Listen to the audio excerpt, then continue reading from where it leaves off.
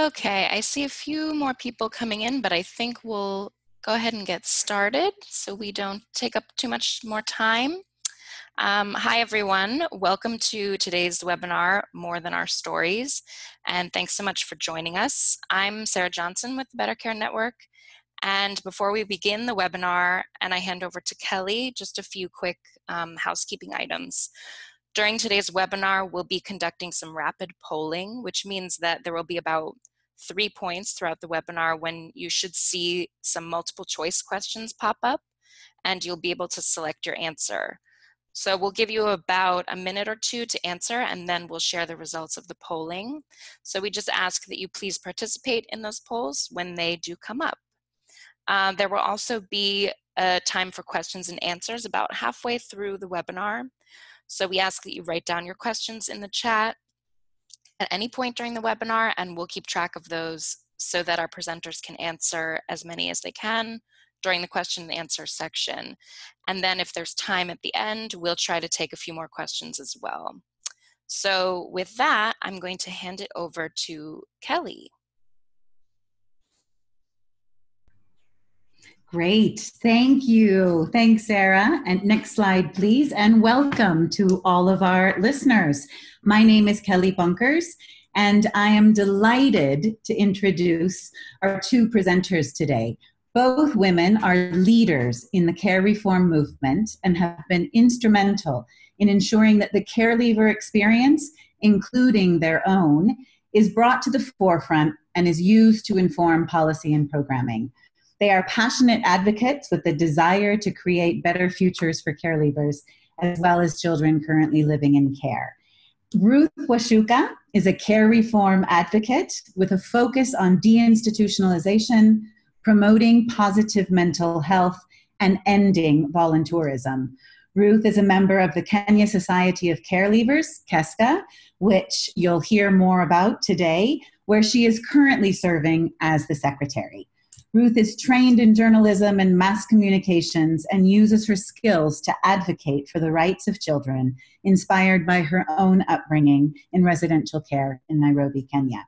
Ruth is also a One Young World ambassador, a global community of young leaders across 196 countries each pursuing the Sustainable Development Goals. And Ruth is joining us from Nairobi, Kenya, and is right next to me. Um, and Mai Nambooze is also another passionate advocate for care leavers in Uganda. Mai joined Uganda Care Leavers in 2016 as project coordinator. Over the last three years, she has been instrumental and has worked closely with care leavers across Uganda providing direct support and facilitating communication amongst care leavers across the country. Mai was also instrumental in conducting the research that informed the care leaver experience study that she will present later today. Mai is joining us from Kampala, Uganda. And now, um, slide please. We are going to ask if we can take a quick, rapid online poll to get a sense of who's joining us today. If you can take just a few seconds to tell us a little bit about you.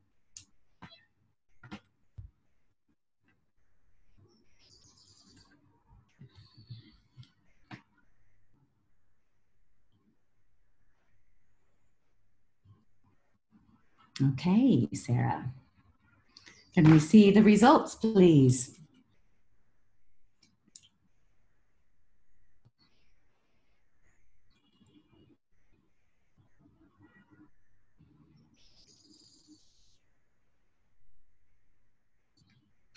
Let's see. Sarah, can we see the results? There we go.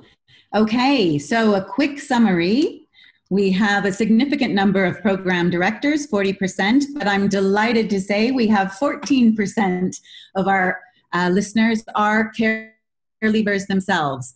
Uh, 6% government representatives, the same as social workers or service providers, and a few academics and donors. And the other, um, unfortunately, we can't see what those others are, but glad that all of you are participating. Um, for those care leavers, are you a member of a care leaver organization? 11% yes, 89% no. Um, one of the things we hope is that this webinar today will help bring care leavers and uh, different organizations together. So this is really helpful information. Thank you. Okay, Sarah, next slide, please. A very quick summary of sort of what brought us here today and, and why we um, believe it's so important to provide this platform for Ruth and Mai to, to share their stories and to advocate for care leavers in the countries and the organizations they represent, but also across the world. Um, as long as there has been residential care, there have been care leavers. However, it's only in the past several years that care leavers have been recognized as an important voice and have been engaged in different elements of care reform. Much of this engagement has been a direct result of their own advocacy. Quite unfortunate that it did not always come from those of us working in the sector.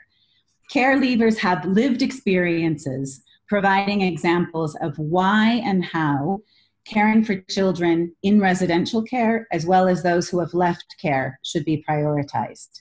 Their stories are often haunting and force us to hear things we don't always want to hear, but the message is clear. We must do better. We must be intentional about engaging care leavers and using their experiences to do better for children. Ruth and Mai are here with us today as individuals who have the lived experience of being in residential care. They are also here as representatives of care leaver organizations that have formed as a means of supporting one another, but also to advocate for change. They are asking those of us involved in care reform, government actors, donors, NGOs, social service providers, academics, and others, to do things differently, to make real efforts to engage them, to hear what they are saying, even when it's unpleasant and to allow their voices and lived experiences to inform policy and programs. Ruth and are presenting the experiences of KESCA and the Uganda care leavers, but it is our hope that their voices also speak for care leavers in every context. As, as Ruth has said to me on many occasions, we don't want any more tokenism. We want real engagement. And I'm happy that today we have the opportunity to hear how this might happen. And now I'm pleased to ask Ruth Wacuka to share some information about KESCA. Ruth, next slide, please.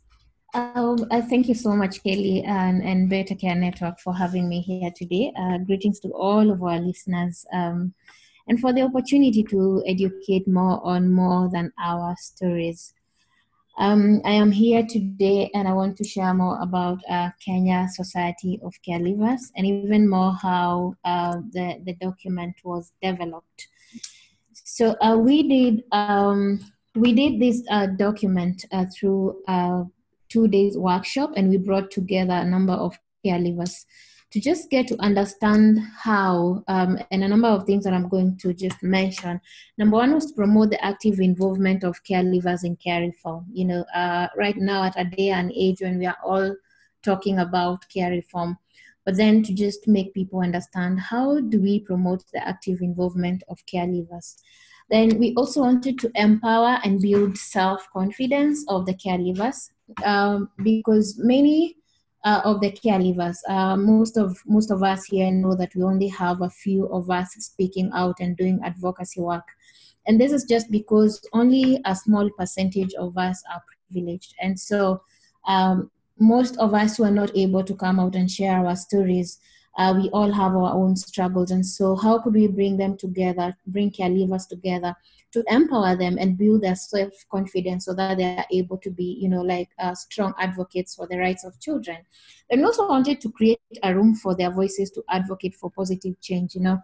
Uh, it's one thing to have a voice and not to have a platform for this. And so we brought this together to make sure that we create a room for the voices of care leavers to just not seek sympathy and I'll talk about it later, but then to bring uh, positive change in care reform. Um, next slide, please. So uh, we involved 25 Kenyan care leavers in a two-day workshop, like I mentioned, and it was purely led by care leavers.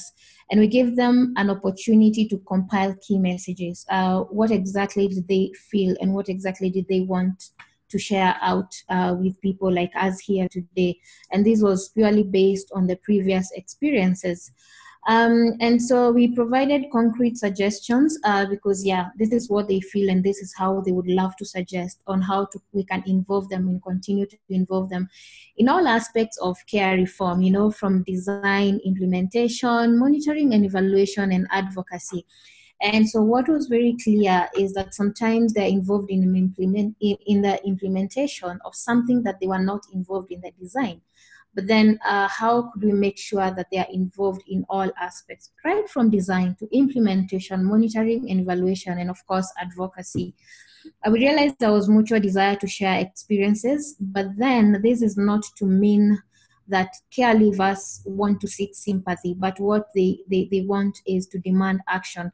Uh, as we all know that growing up in care and for every other young uh, for every other care leaver we all have very unique experiences uh, some are very traumatic uh, stories of pain uh, stories of loss and they all um, provoke some emotions but then what the care leavers uh, want us to do uh, they said when they are sharing their stories, uh, they, they're not doing this to seek sympathy because sympathy without action will not bring about change.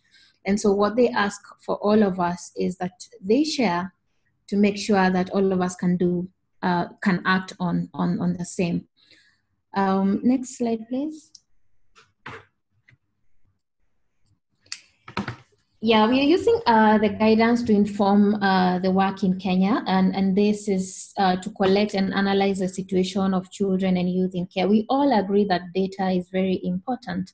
So uh, this guideline sheds light on how to, you know, collect and analyze the situation of children and youth in care, of course, based on the experiences of, of, of the care leavers. Um, and then we also shared the light on how to prepare children before exiting care. Most of us never had the opportunity.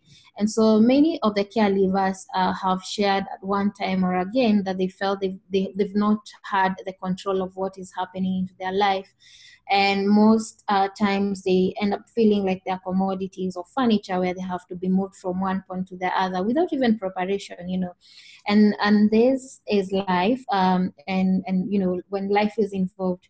And we all agree that uh, all of us here want to be informed even before anything happens you know in, before any transition that happens in every uh, person when they're growing up and so uh, care leavers felt that it is very important for us to make it very intentional, that we ask of us um, uh, who are practitioners and policymakers to make sure that we prepare children before exiting care. And we've really shared, um, we've shed light on how that preparation, preparation looks like. We also want to design guidance on how to support children and youth after care. I yeah I know most of us I think uh, that yeah you have exited care and you're an adult and so you might not uh, need any support. But we can all agree that you are your mothers or your fathers till when you're 80 or 70 you don't cease to be your families. And so is the case for the care leavers. But when they exit care it doesn't mean their life stops at that but then we have designed guidance on how could we continue supporting children and youth after uh, they exit. They need preparation. They need not only to integrate with their commu- with their families but also to integrate with the community at large. And so how then can they uh, be able to fit in this community without support? And that is why we feel it has to be very intentional on how we support children and youth um, after exit and we support key actors uh, engaged in care in how to treat, talk about, engage with care leavers. And yeah, most of us, uh, and from my uh, experience uh, right now, just a few years that I came to learn that not so many people understand who care leavers are. And even after they get to understand, they don't know how to talk about care leavers. I've come across people say, and this really stands out for me, when they say, or when I think about care leavers, I think about the deaf and the blind and care leavers as people with special needs. Um, how then are we using this guideline to make sure that you're informed on how to talk about a care leaver and not just as a person not as a person with special needs but then as a person equal as you and that you can look at them um, in a way that is dignifying and not you know like to reduce on the stigmatization of care leavers uh, sometimes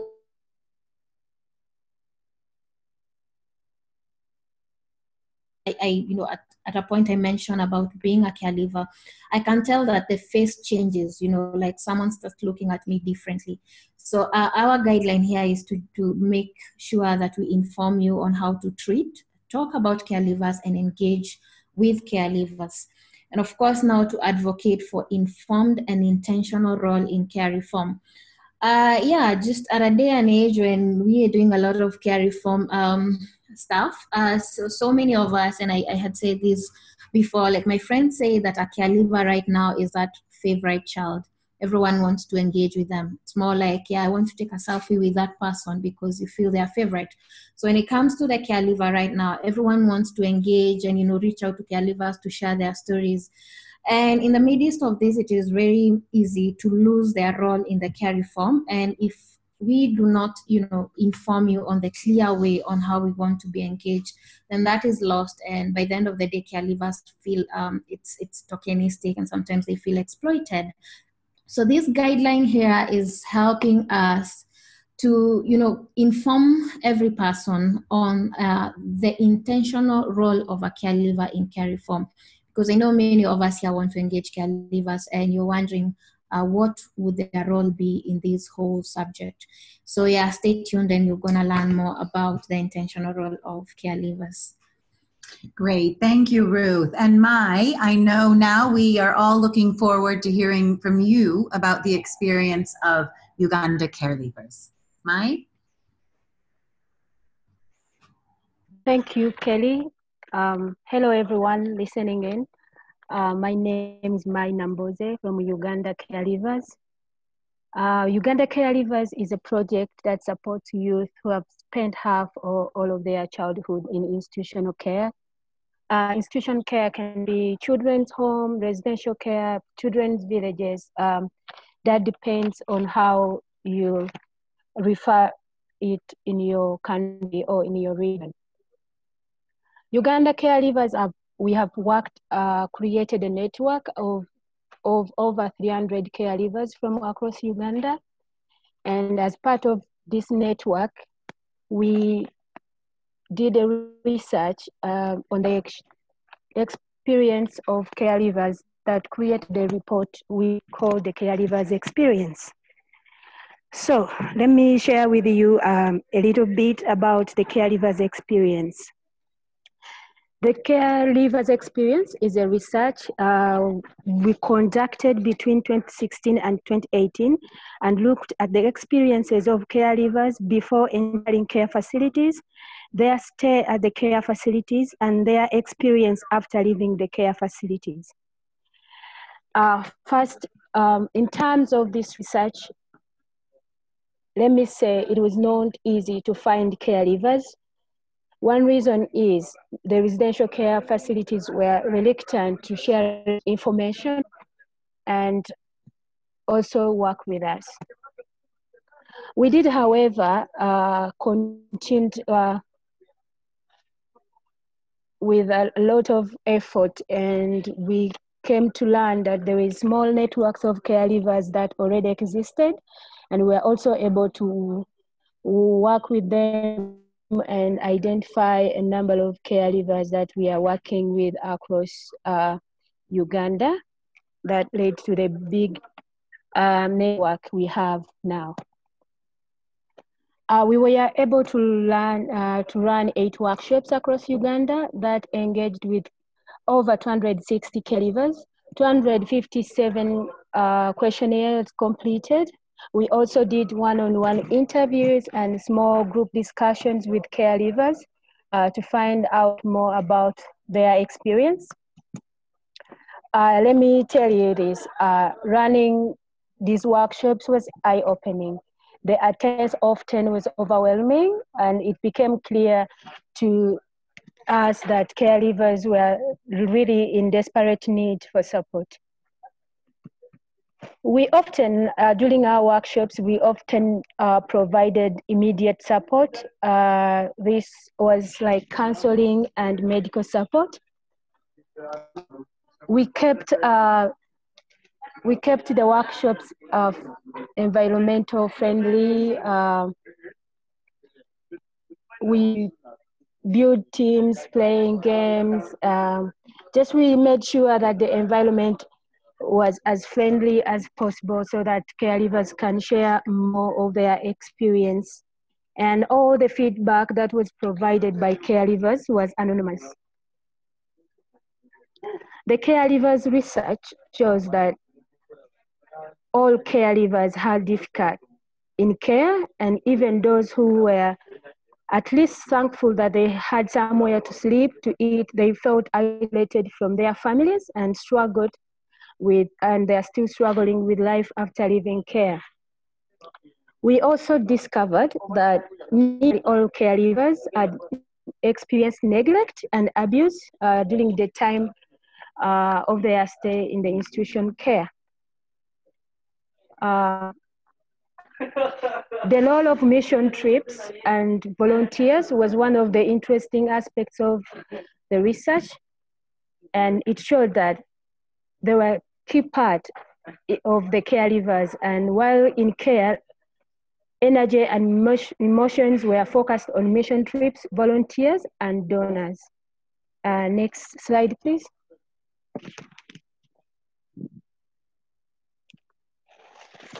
So um, what do we learn from this research? There are lots of interesting and important findings from the workshops and the questionnaire. The research illustrates it's a must. I say this again. The research illustrates it's a must we change uh, the way we care and as a priority, we ensure that children are prevented from entering care facilities in the first place. Care leavers uh, told us that their main challenges are around continuing education, finding jobs, keeping up with day-to-day life living costs. They still expect uh, donors to support them as adults, and this is because is the only way they know in care. Like they've been given, uh, I think care leavers can relate to this.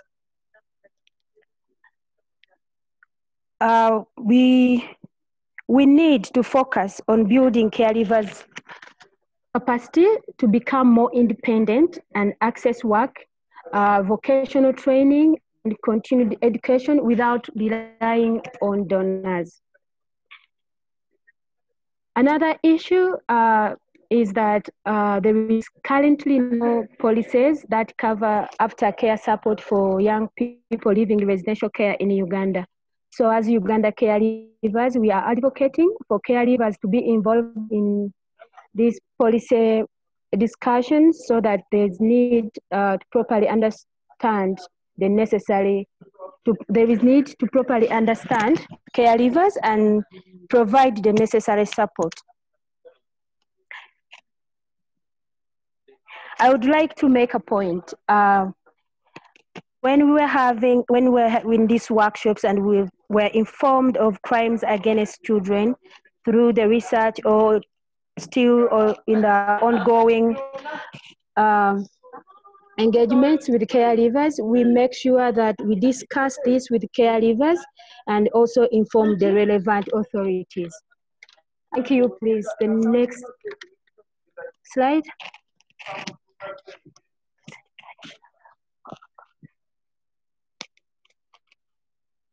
Yes, uh, Uganda Care Leavers, uh, we, we are going to use this document as evidence to raise awareness of the issues that are affecting care leavers and also advocate for the change in the way we care for our children.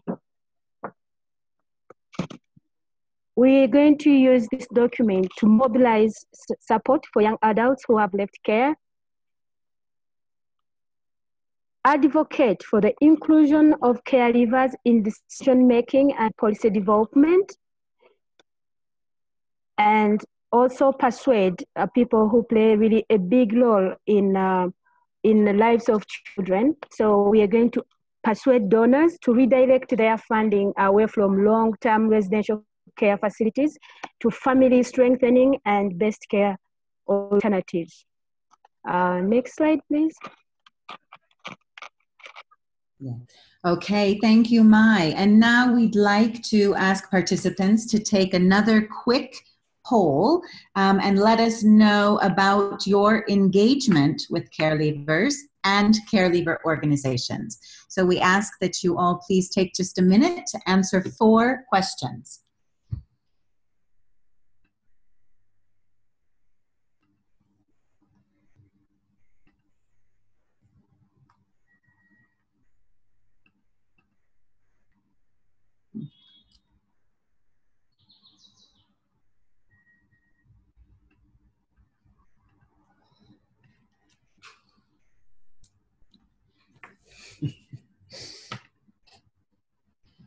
Mm-hmm.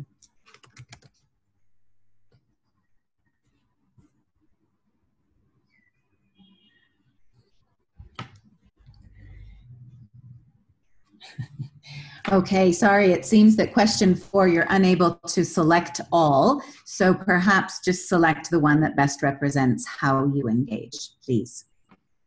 Sorry about that technical glitch.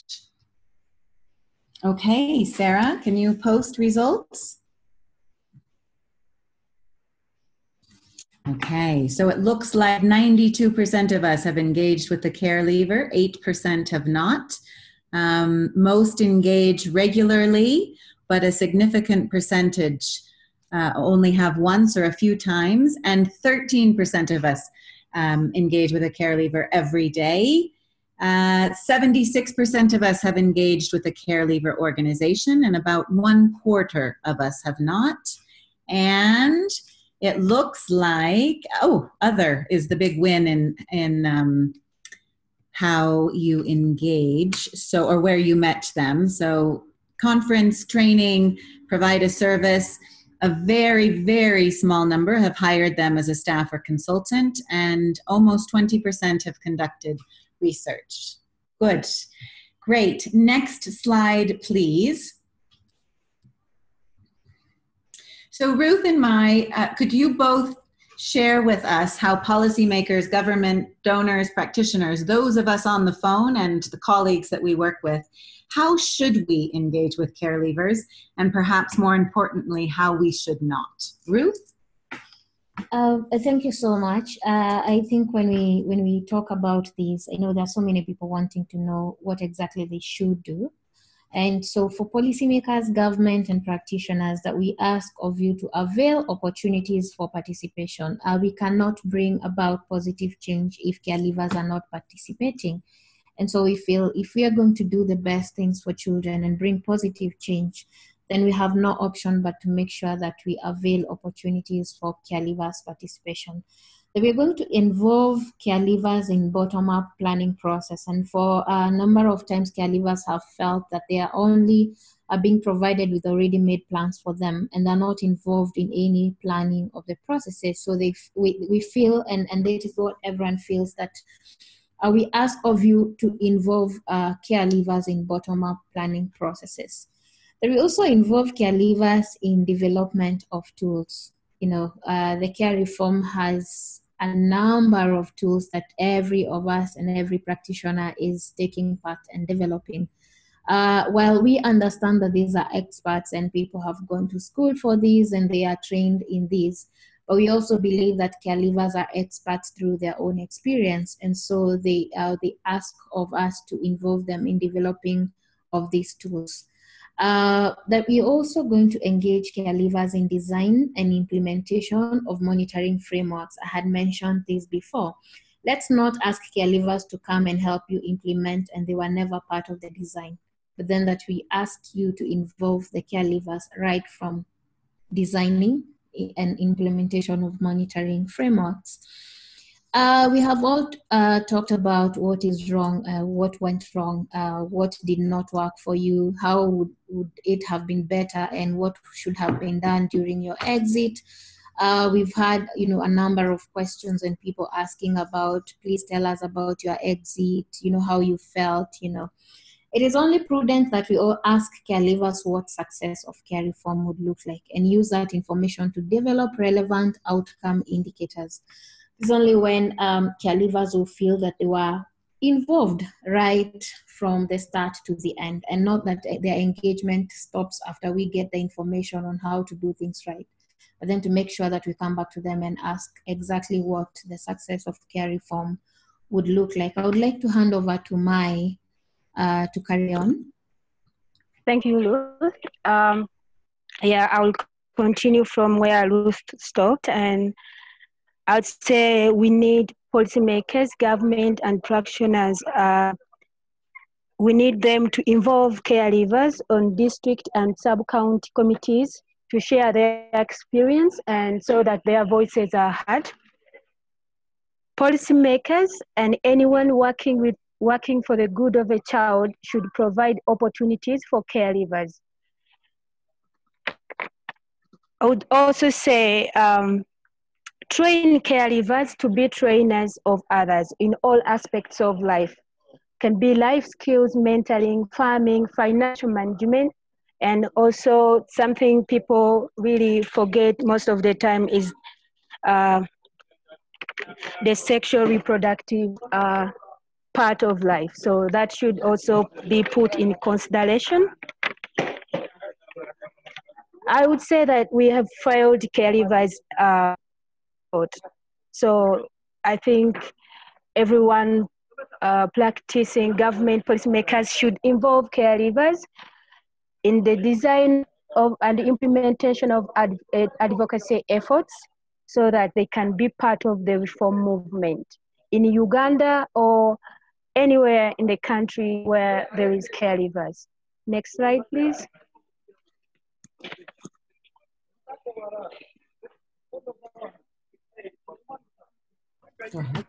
Ruth, go ahead.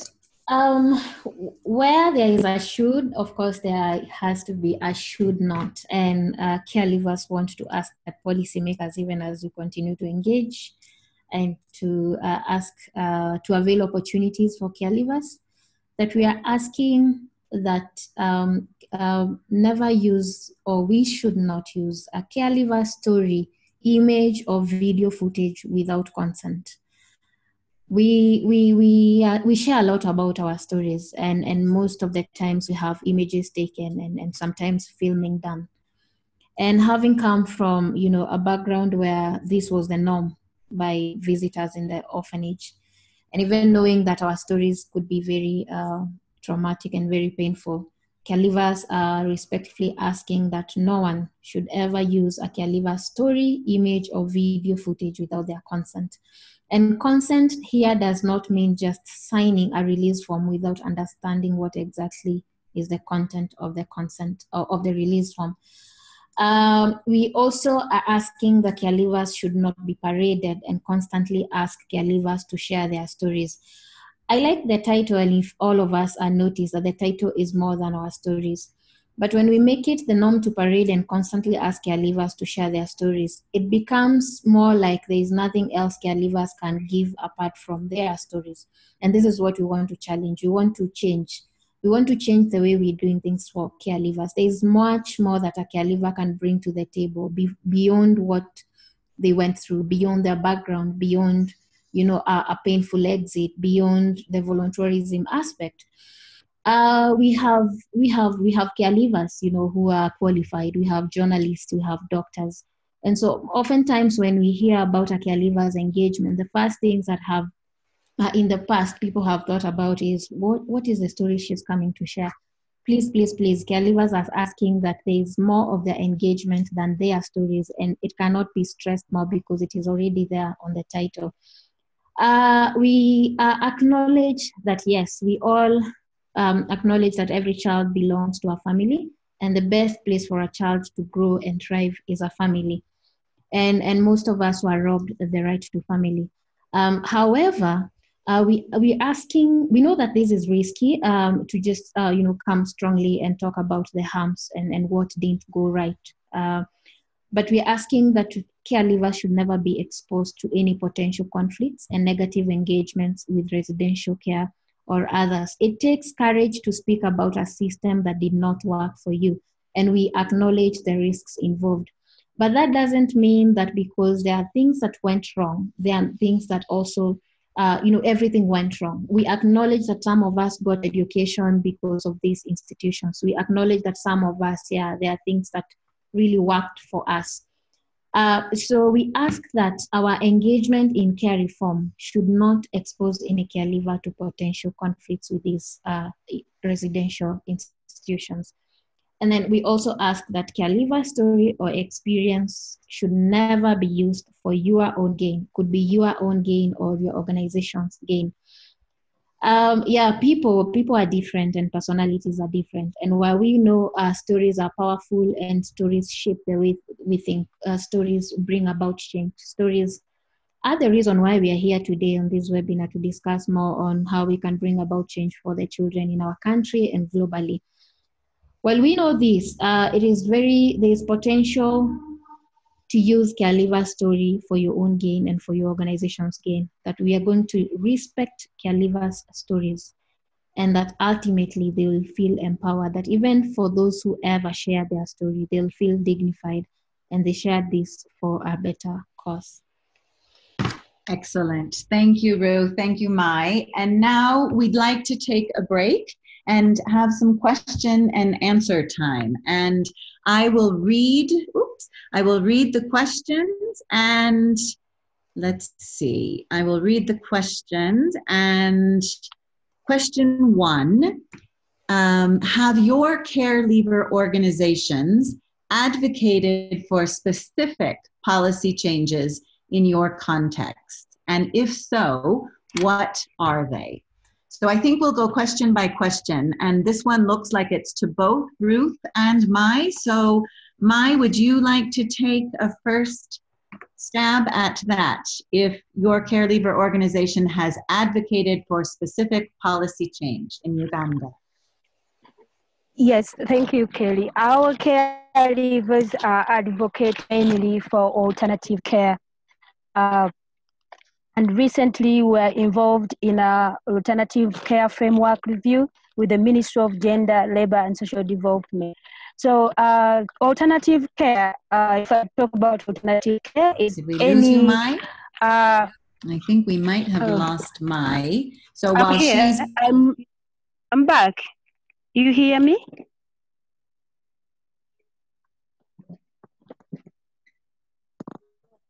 Hello?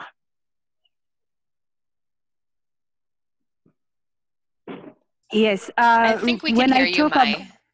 Okay, thank you. When I talk about alternative care, I mean any other kind of care for children outside of their biological fam- um, families. This can be formal or informal care.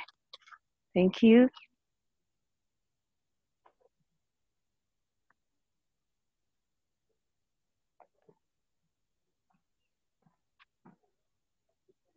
Another question, please.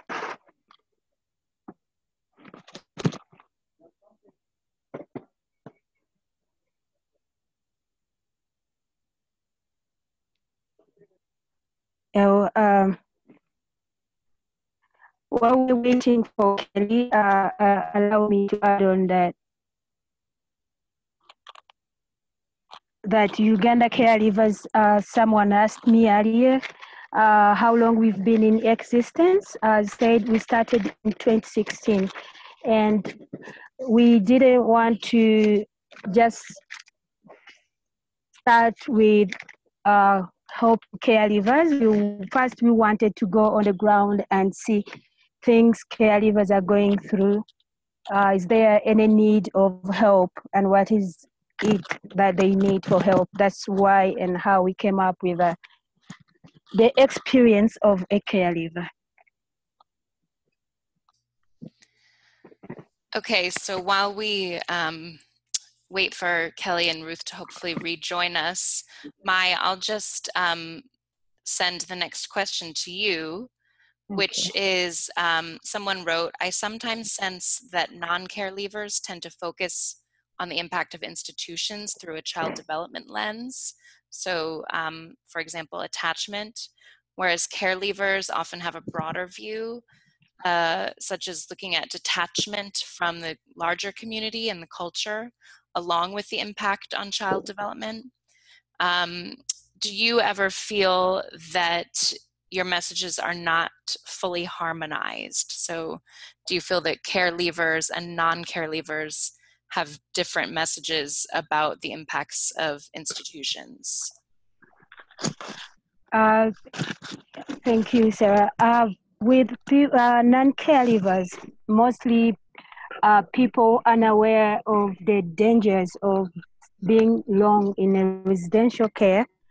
Yes, they they they they actually feel that, but care leavers they do know this. Um,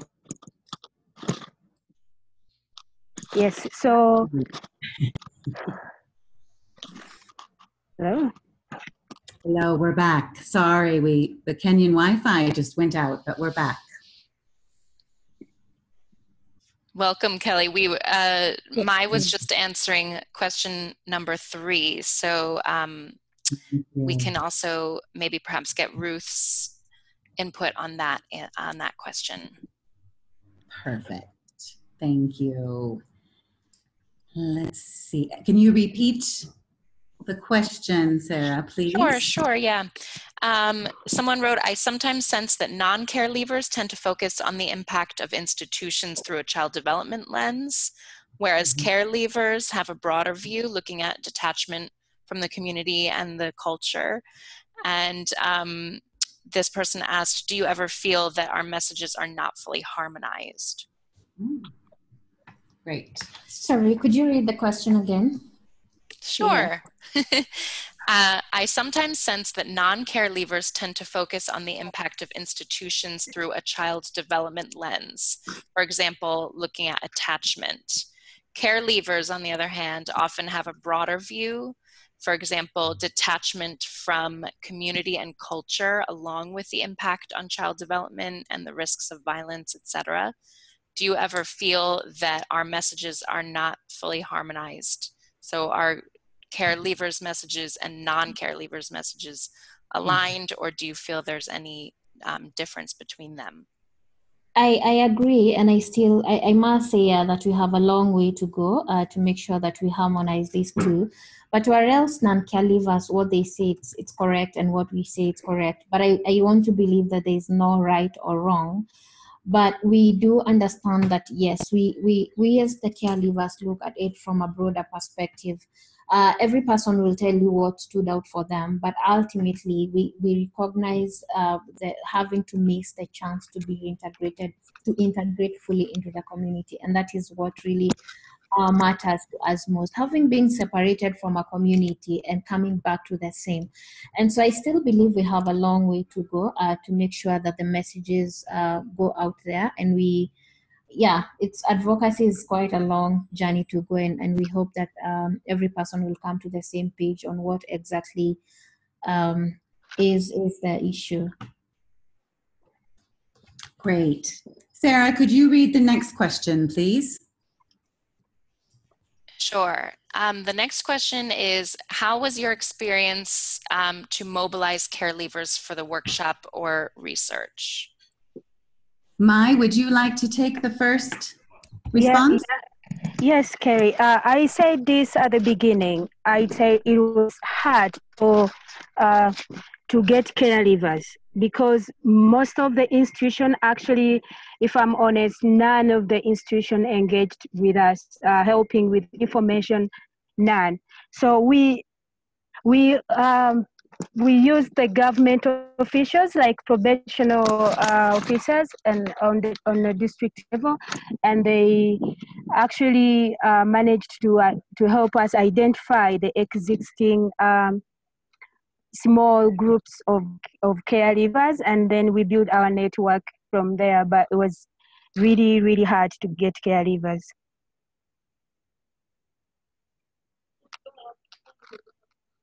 Thank you, Mai. Ruth, anything to add to that about developing the guidance? I think for us it was not uh, as hard because, of course, because of the presence of a network that sometimes we have, we are in constant communication with the care leavers. It was not really hard to bring them together. But what was uh, really not easy, of course, is having to, you know, them sharing their past experiences and you know from where they're coming from. And like i said these are people who are used to seeing people ask them questions every now and then. But because, of course, uh, they felt that this is a, a, subject that we all need to uh, shed light on, so it was easy for uh, them to, you know, they were willing to just uh, be part of the journey and inform on, on, on, you know, like what are the next steps and just to let people know exactly how they should happen. And of course, I think the motivation here was this does not just benefit the Kenyan care leavers, but it is for care leavers globally. And so we felt this was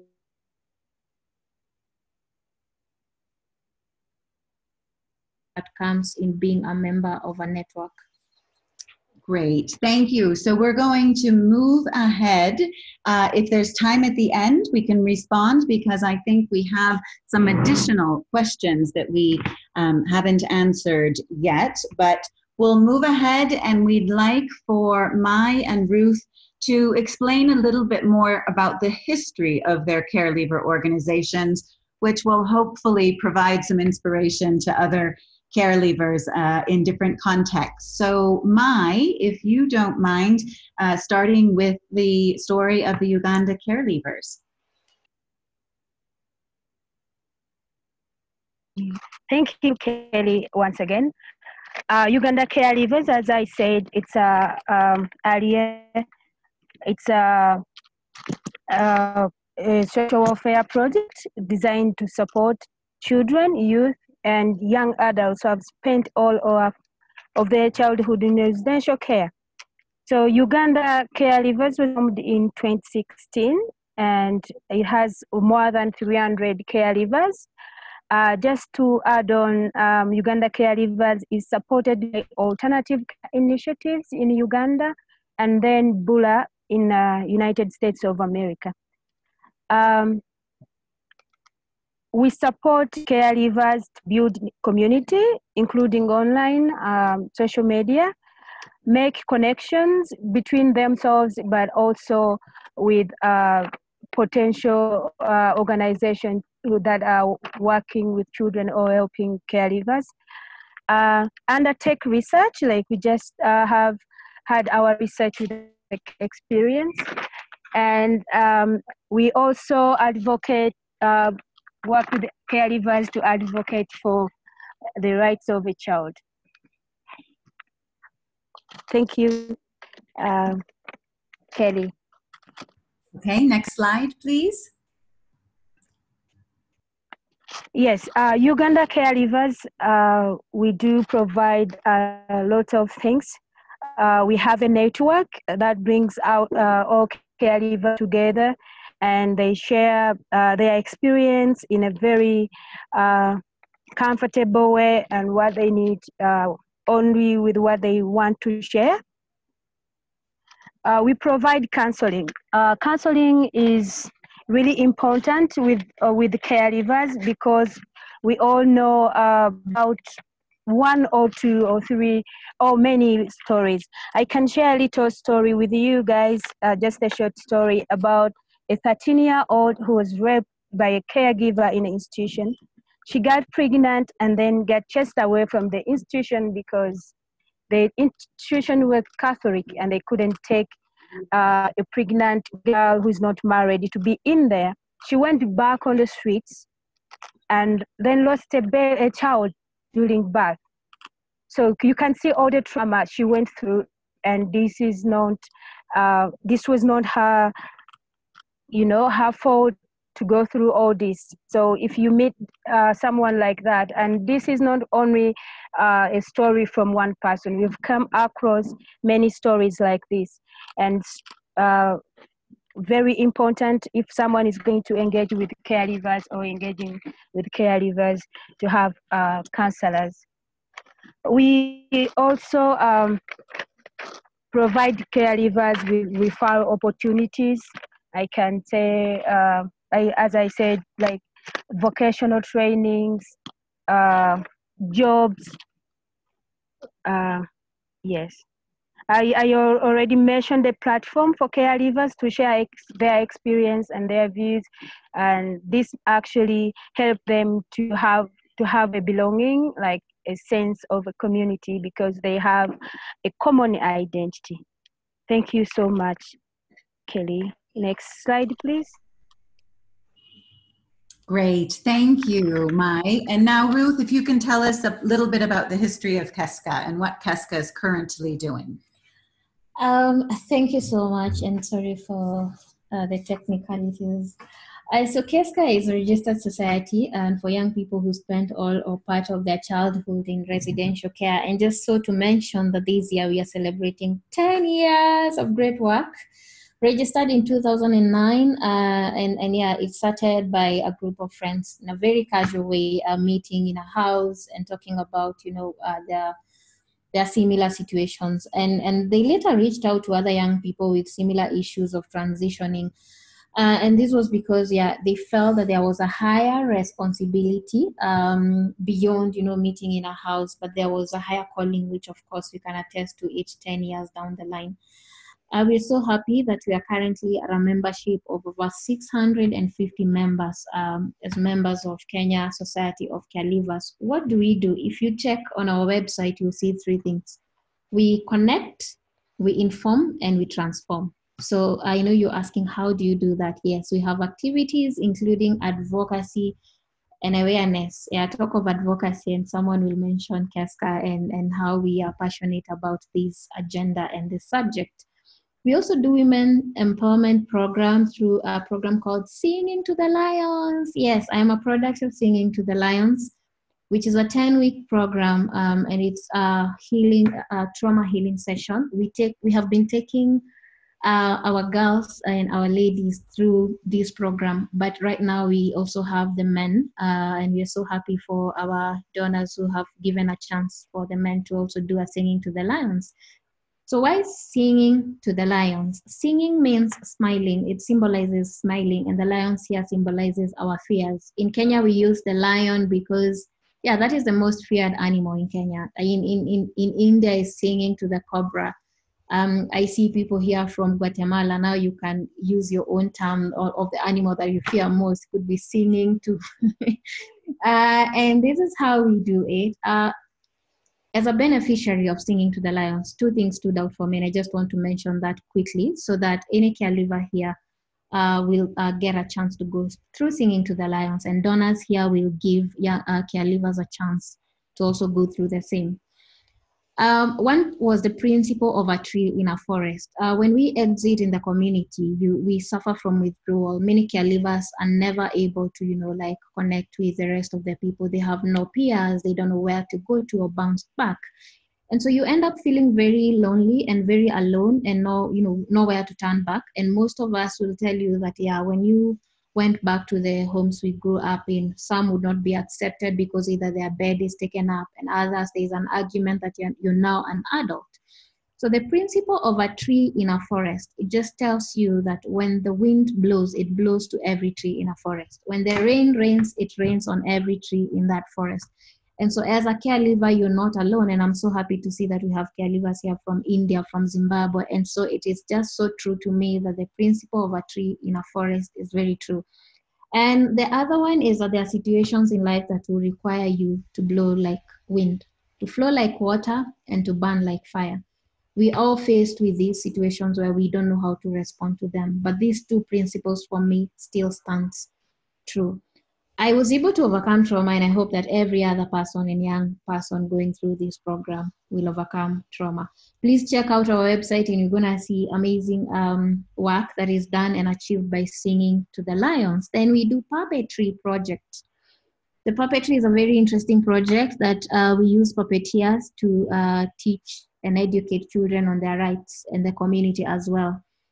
Uh, we, we've, we've spoken a lot about the right to family for every child. We've spoken about uh, does the communities really understand that every child has a right to family? And when we look at the push factors on why most of these children ended up in an orphanage, you see there was an ignorant aspect where we think the right for food is way better than the right to family. But then how are we using this to educate and advocate um, and, and educate the community on the rights of children? So puppetry is a way of engaging the children to just find out if they know their rights. And if they don't know, we are able to teach them on what exactly their rights are. Then computer training and service center, Kenya Society of Care Leavers has a center where we, we are in a digital era and we don't want to leave our care leavers behind. Uh, and we want to empower them with skills computer training skills where they go through this training and have a certificate. It is an important skill to acquire for employability. Then mentorship for life program. Everyone needs mentorship and so are care leavers. And so for us, mentorship is key that every person needs a mentor even as they carry on with their life. Then a thousand memories project. Wow, yeah. This this project started because of a situation that is yeah it, it shouldn't happen uh, and, and and kenya society of care leavers came in to fill in the gap where uh, this this young uh, this child passes on and i don't know how about the cultures in other countries but we have this photo that is placed on a casket during the funeral. But then there was no single photo of this child that anyone would find to use that photo during the funeral. And any photos of the child taken were either taken by volunteer tourists, you know, and so like literally there was no album, there was there was nowhere that you could get get a photo to use during the funeral. It was a sad moment to imagine that you you you have served, you you've been in a life where every other person can show their photos when they're growing up, but this child could not. And so Kenya Society of Care steps in with a thousand memories project to make sure that we go to every uh, to, to most of the uh, children charitable institutions, take photos and create an album. Why? Because when we grow up, um, even myself, I, I want to see photos of me as a young child, as a young girl, as a young boy, as a, you know, and every person can acknowledge the power of photos, that we can create memories for children because that is something that maybe the home may not be able to do. But then how could we bring about change as, advocate, uh, as advocates for the rights of children? And this is one way to advocate for uh, memories. And so through these activities, going back to my point, when we connect, we inform and we transform. It's out of this that we are able to transform our care leavers. Singing to the lions transforms lives. I am a transformed life, and I, I, I say this every other time. Uh, thank you so much. Next slide.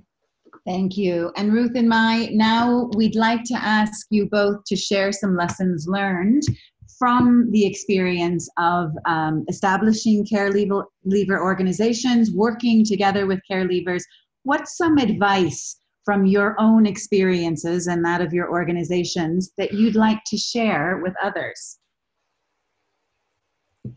Go ahead, Ruth. Uh, yeah, so although we share similar experiences, that doesn't uh, make us all the same, and it doesn't mean that everyone will always agree uh, we expect people will disagree. And I just saw a question where someone had asked that how the fact that we are talking about uh, care reform and it can be a very controversial subject, is there a point where some of the members disagree? Yes, there's some uh, some of members will disagree, but that doesn't mean that now the family of care leavers break. So we share similar experiences, but not everyone uh, uh, will agree, and it is okay to disagree that is totally okay. We have learned to accommodate everyone. Um, and yes, that the leaders of care leaver organizations require expertise in different areas.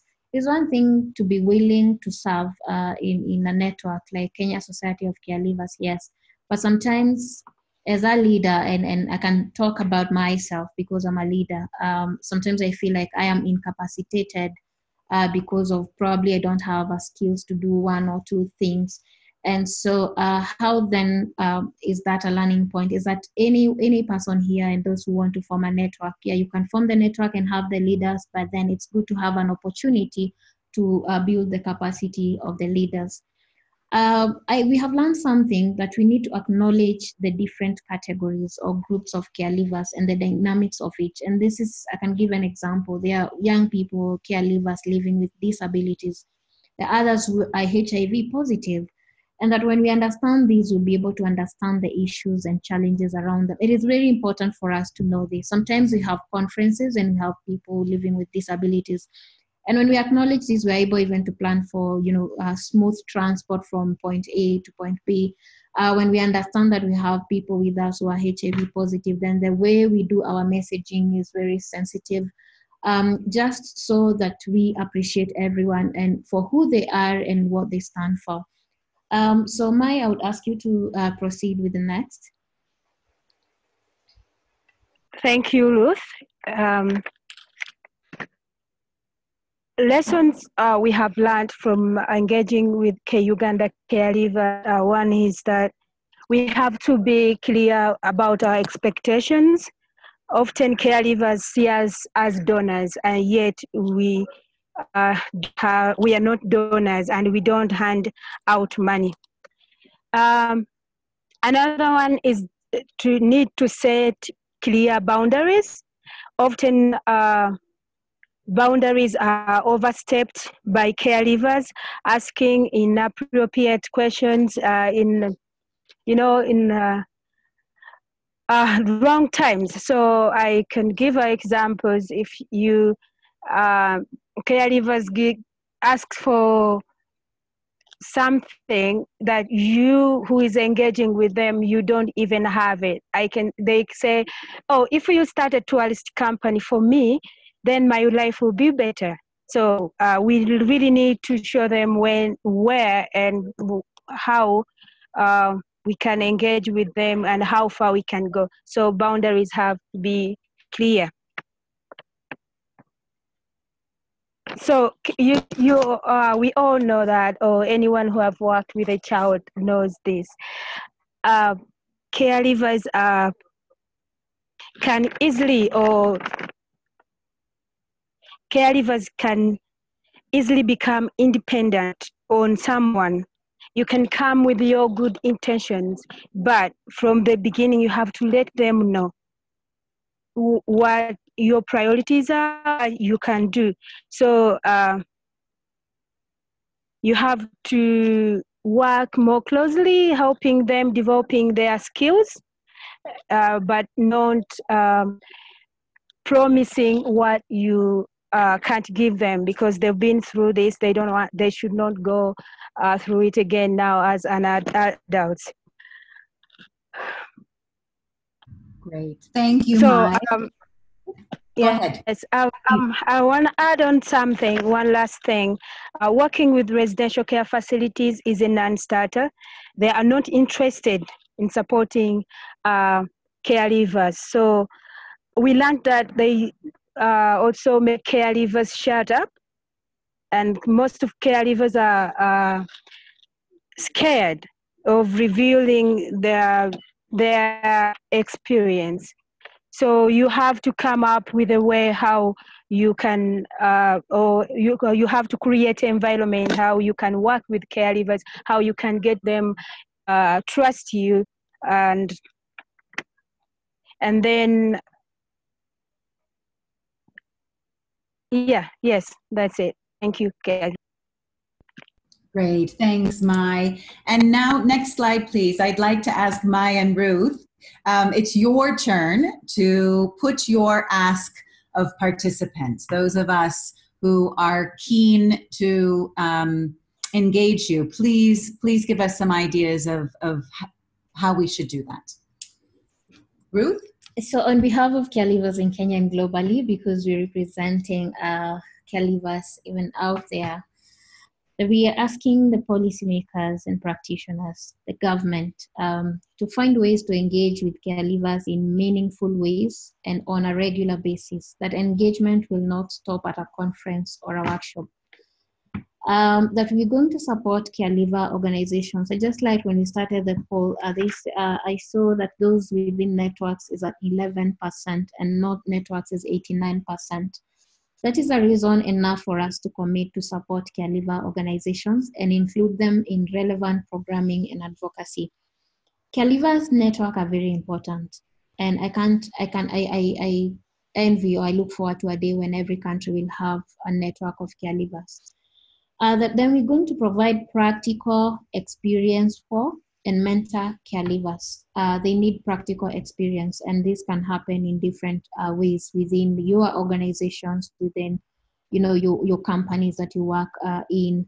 And we are going to mentor these care leavers. That we're also going to support education opportunities for care leavers. Most of these care leavers exited and their sponsorship ended at then. Uh, and majority are brilliant minds who want to pursue their careers they've not had the chance because of course when when when you know support ended there was no way they would carry on with the education So what we are asking is that you could support education opportunities and even link them to scholarships and support them through the application processes so that they can, you know, pursue their careers. That um, we, we, you know, most of us here are working in organizations.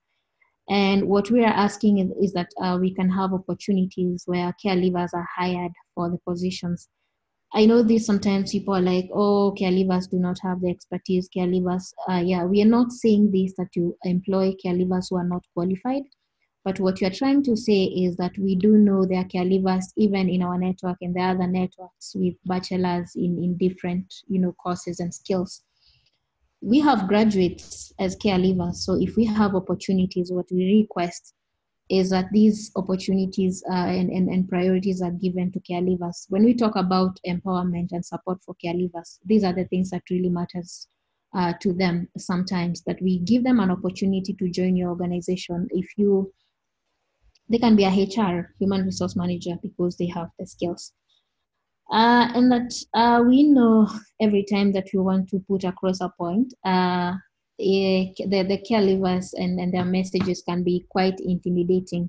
So care leavers wanted to ask that please do not be afraid or intimidated by care leaver messages. And all we ask is that could you please lean in and listen? And through listening, we'll know the best way to handle and bring positive change. Uh, sometimes it could be harsh, sometimes they have very harsh messages, but trust you me, it is the very honest feelings and the genuine concerns they have out of their own experiences. So please don't feel intimidated, but listen. Then we're asking that we treat and think of care leavers as equal partners. More often than not, we, you know, we have looked down upon care leavers. Sometimes we have thought it's just a resource that you can tap into and live.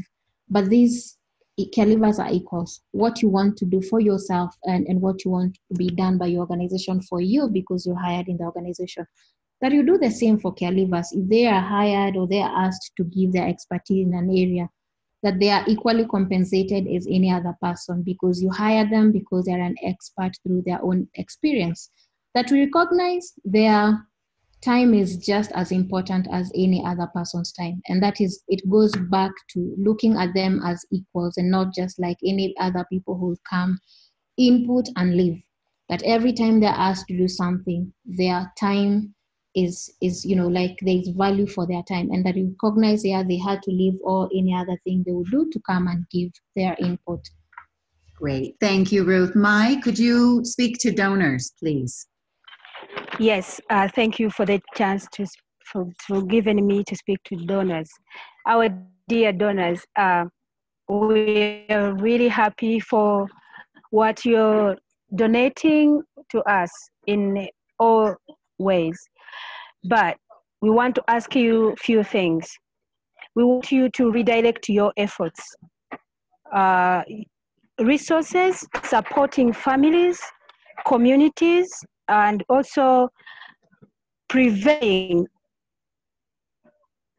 separation, you know, preventing um, the, those uh, organization working with prevention and separation. So we are asking you to start supporting family-based care, transition aftercare for uh, us care leavers.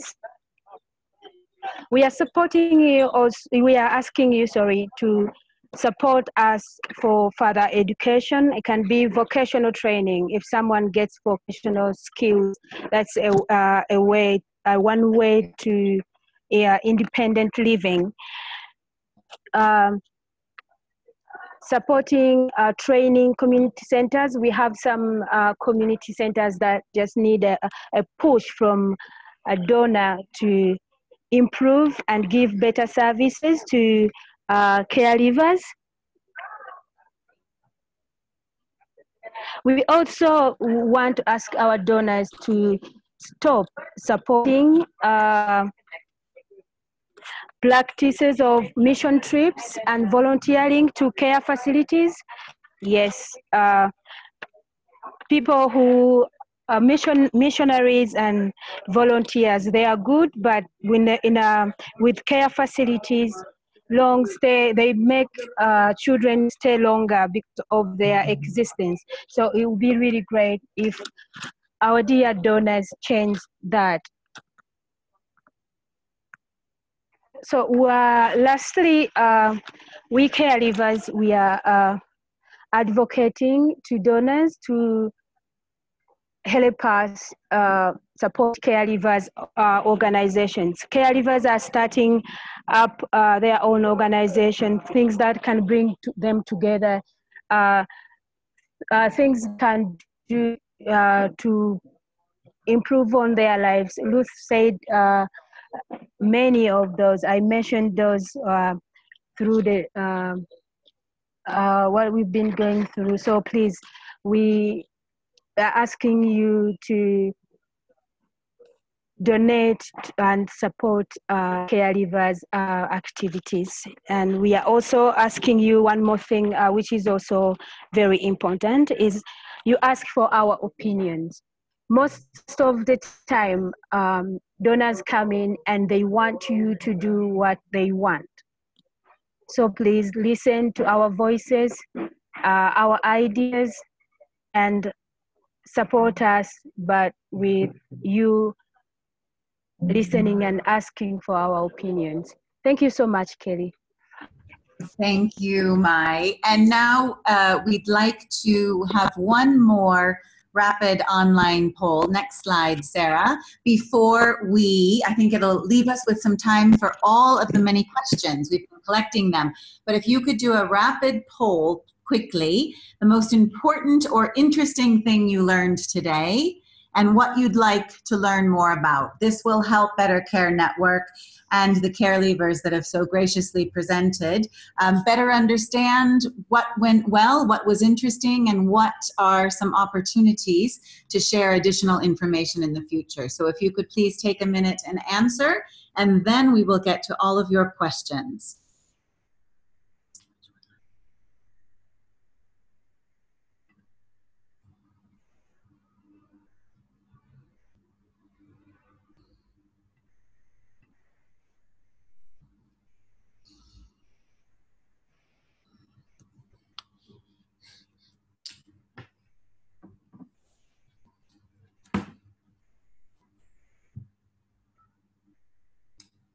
Okay, do we have the results, Sarah?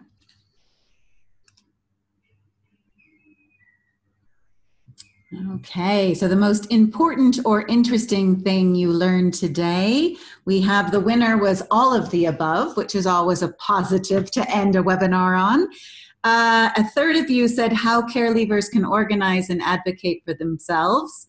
Also interest in how to engage care leavers in your day-to-day -day work um, more about the care leaver experience, and only 4% didn't learn anything today. And what you'd like to learn more about, the resounding winner in, in this is how to connect care leaver organizations in different contexts and countries, as well as how to design and provide services to support care leavers. Um, another 37% answered both how to support care leavers to organize and establish a care leaver organization and how to engage, care leavers in my work. So thank you very much for taking that. We will take note of this. And now it looks like we have about 10 minutes for some additional questions. I'll try to get through. Uh, there's a quick question for Ruth. How many people have used or have been trained with the guidance? Do you have a rough estimate? Uh, for the guidelines, we, we just we just launched the document uh, last month, but we had representatives from uh, five organizations uh, who, yeah, we shared the document with, and we hope that they are going to, you know, of course, learn something from it. And then we we also now uh, had to distribute it to. We had three representatives from charitable children institutions. So uh, and, and the government, of course. So we have 11 entities that we distributed the guidelines with, but we are looking forward to have a dissemination strategy uh, very soon. And I would also add that uh, I believe we shared in the chat box the link for that. It is available online, and we would encourage any and all people to to use that guidance. It's not just Kenya specific; it's very much uh, designed for all contexts. So the next question, Mai, is for you. you mentioned that donors should support care leavers after they have left care. Do you have a specific time frame for that support? And is it financial? Could you answer that, Mai? Yes, Kelley, thank you. Uh, we don't have a specific uh, time frame uh, because we are, uh, we are going to uh, to come up with planning how long you can uh, how long you can care leavers or how long that do care leavers need help but that is uh, i think we need to plan we need donors to help us planning for living care start from planning living care and then until you see someone is independent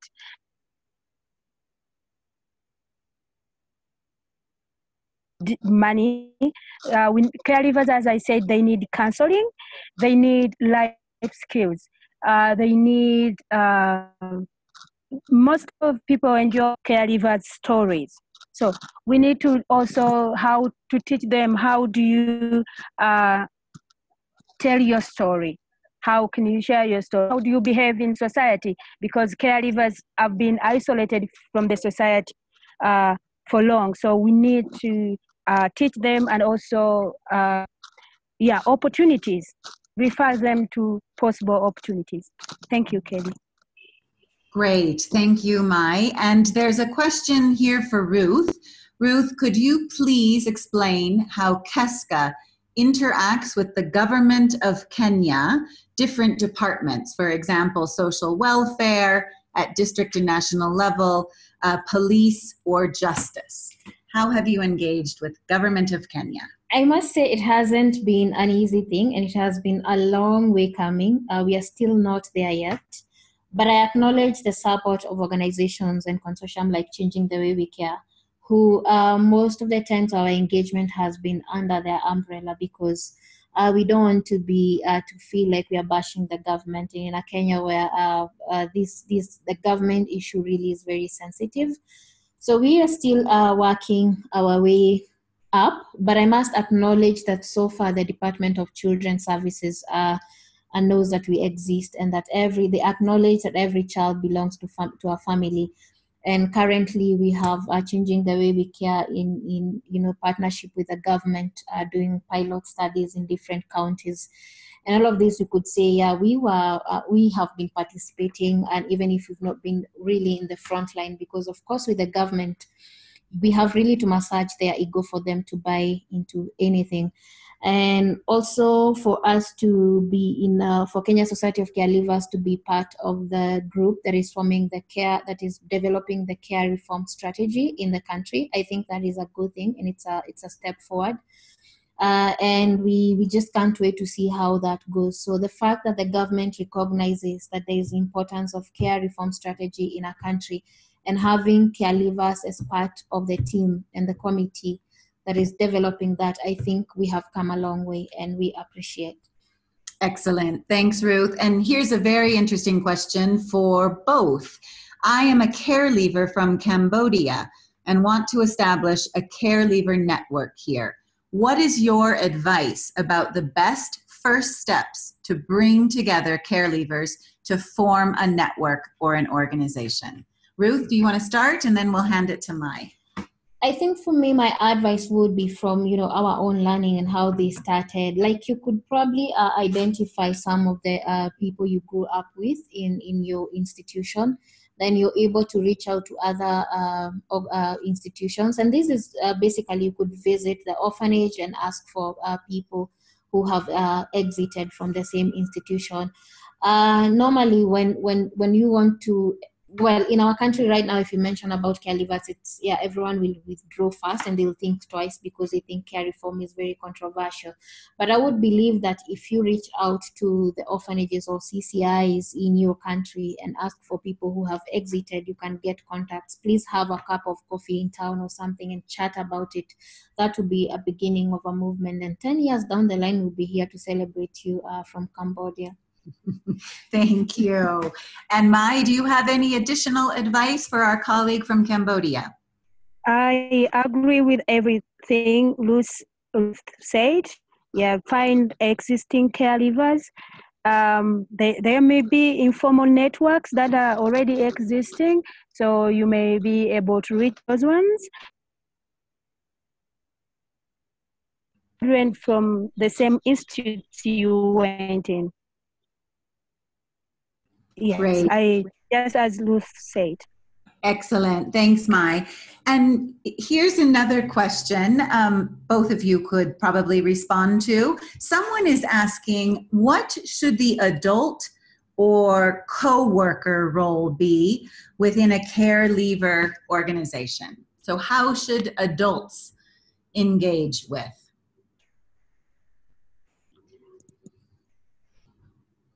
Any thoughts Um, on that? I think adults should be mentors of care leavers.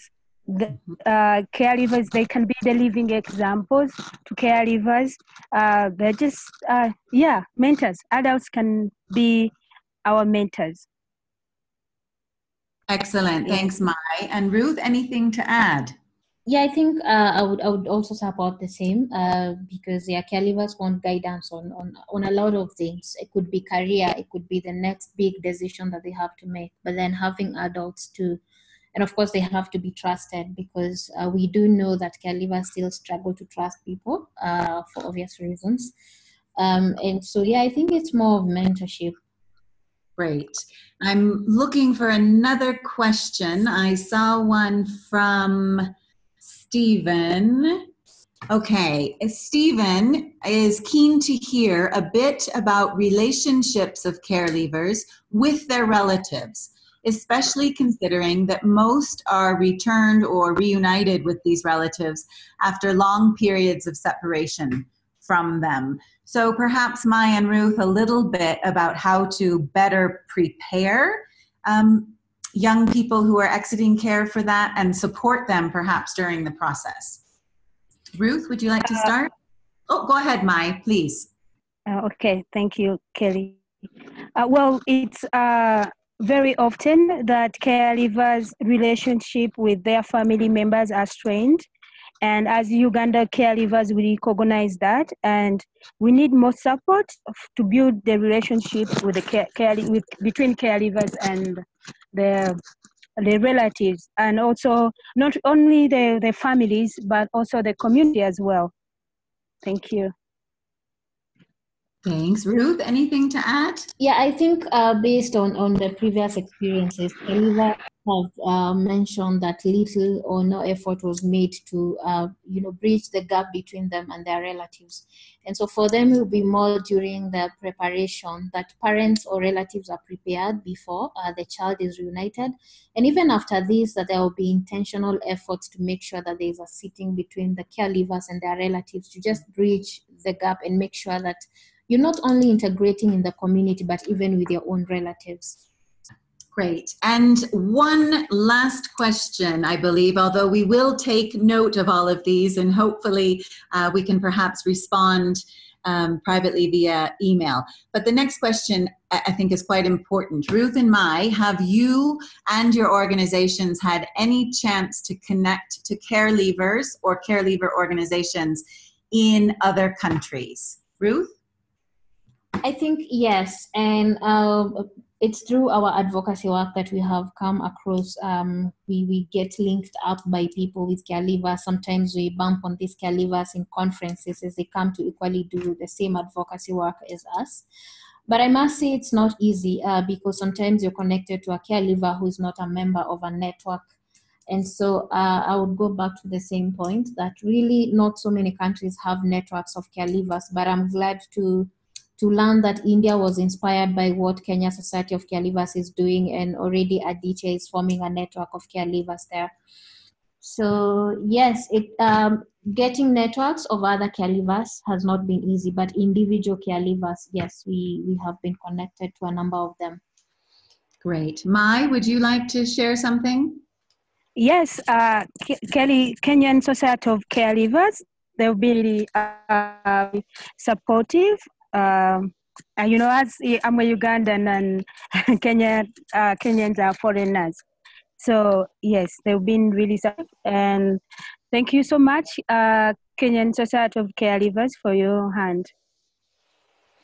Great. Yes. And it looks like I'm just reading through the questions in the comments, and it looks like there are definitely there is interest from others to to connect with Ruth and Mai and their care leaver organizations. I think there is growing interest in this.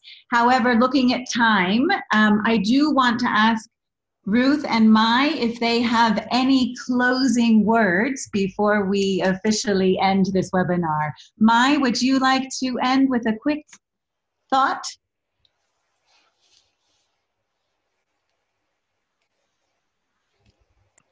Uh, yes, uh, I'm, I'm here. Um, I would like to uh, thank everyone listening in. Um, I'm hoping I, we, I know there's still uh, much to discuss, uh, and uh, hopefully, what we've discussed has, has uh, given you an overview of what we do and what. Uh, thank you so much again for listening.